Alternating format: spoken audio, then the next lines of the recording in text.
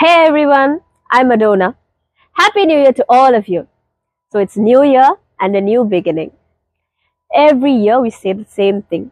New year, new beginning. This is gonna be my year. I'm gonna rock this year. I'll do that. I'll do this. And we take up New Year resolutions. But are we able to keep up with the resolutions? No. Maximum one month. After that, everything, boom, gone.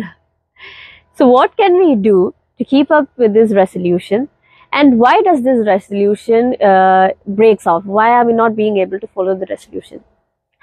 What I've learned from my life experiences, and I've read some things from the book, is that uh, for our uh, when we take new re- resolutions, we take big big decisions which we are not able to follow. Maximum one week is what we do, and then it breaks.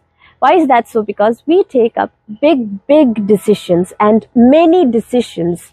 We try to bring new habits. We try to bring, uh, we try to make big changes in our lifestyle. So we are not being able to follow it because we've already had a lifestyle and a habit. And when we try to bring out a big change in that lifestyle and that habit, we are not being able to follow it. So instead of bringing out big changes and big uh, decisions, try to aim low. That's what Jordan B. Peterson said. Aim low. By but by aiming low, it doesn't mean that don't aim for your goal. You should aim for your goal, and then you should aim low. Start by aiming low. For example, start by making your own bed. Start by at, reading at least 10 pages a day. Instead of saying, I'll wake up at 4 a.m. every day, I'll go to bed at 10 a.m., that won't happen because uh, suddenly when we try to bring out the change for one week is what we do and then we go back to the normal timing. So instead of saying 10 a.m., uh, 10 p.m. to uh, 4 a.m. timing, do it 10 minutes. I'll go 10 minutes earlier to bed than my usual time. 10 minutes, I'll wake up 10 minutes earlier than my usual time. So by this, you can uh, bring out the change from 10 minutes to 20 minutes, then to 30 minutes, then to one hour, and then finally to the desired time which you want to go to bed and then which you want to wake up.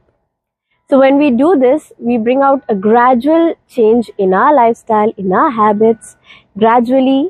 And then finally, by aiming low, we step up, step up, step up, take a step, and then we reach the goal, we reach the destination. So, so this is what we have to do this new year. Everyone, we have to take up resolutions and we have to try to bring new habits in our life, make a, a healthier life. So what we'll have to do, we'll have to aim low. We have to aim for our goal. We have to aim low. We'll try to bring out the changes in our life by taking small, small, tiny, tiny steps and then finally reach our desired goal. So we must have patience.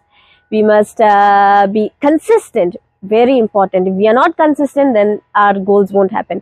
We should have patience. We can we cannot see our results uh, within one week or one month. It might take six months, a year, two year, three year.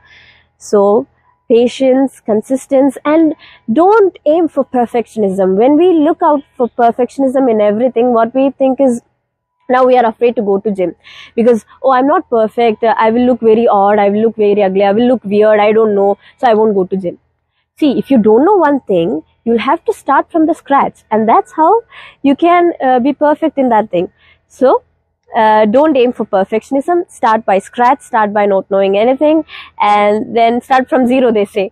And then we'll uh, slowly get better with our consistency, with our patience, and then organizing it, everything. So that's that, what I have to say to you all for New Year that uh, make your resolutions happen, and you can do it. You just have to have faith in yourself, faith in the Lord, and everything will be perfect. So, Happy New Year to all of you.